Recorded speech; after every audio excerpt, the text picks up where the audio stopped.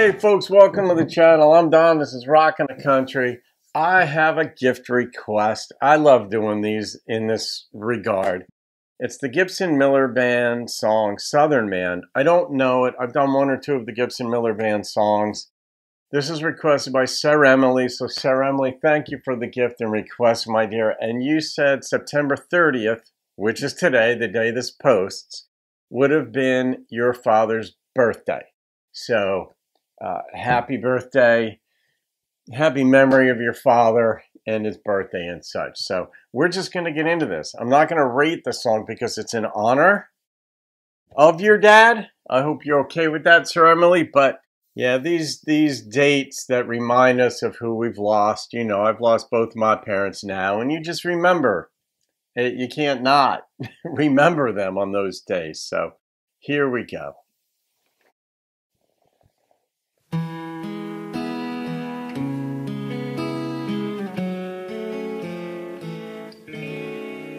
Southern Man,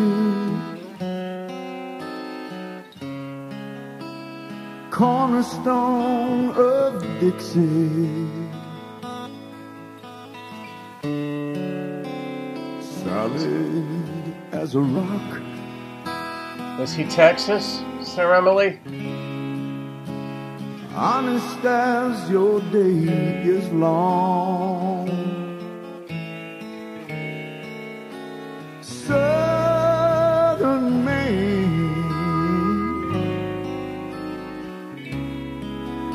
Your kind is disappearing. Don't let your light go out symbol of the Southern Man. Someday we'll meet on the southern side of heaven, where all that you need is a pair of calloused hands, where a friend is a friend. And if he ain't got no money, frankly, we don't give a damn. Southern man. Yeah. You rose from the ashes. Once you lost the war. But you never lost your pride.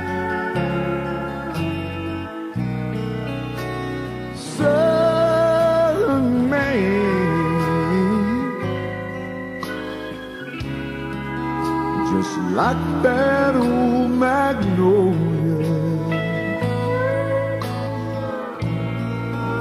Don't let them cut you down stand your hallowed ground, Southern Man. And someday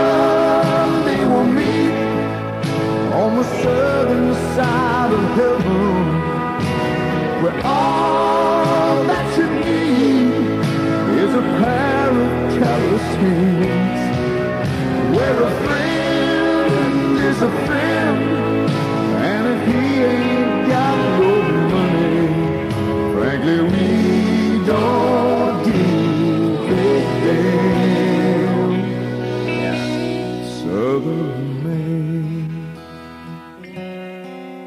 You just care about someone because they're human. You know this world can turn you colder. Yes, it can. Yes, it can.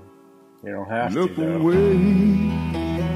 Whoa, look away. Southern Man.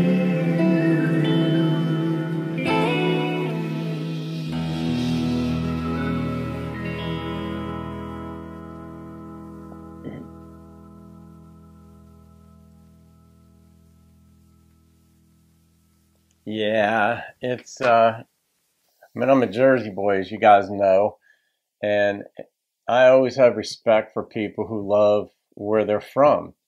Why wouldn't you love where you're from? There are people and, and things going on in wherever you're from that you don't like, that you disagree with, but it doesn't mean, I mean, it's what you're familiar with. You're, you know, it doesn't mean you're going to re- duplicate those things. There are people who were born in North Korea who escaped, who hate their leaders and all that stuff, but they love their country. And in this case, it, made me wonder, like, where your father is from, Sir Emily, because I know you're a couple hours north of Houston, but you could have moved there, you know, from from elsewhere. But in any case, it's uh, I love how much you love your father. That's a beautiful thing. You know, some fathers just instill that in their children because even though mothers and fathers, but in this case, fathers are not perfect. Nobody is. But when you know they loved you and had your back, you forgive their imperfections.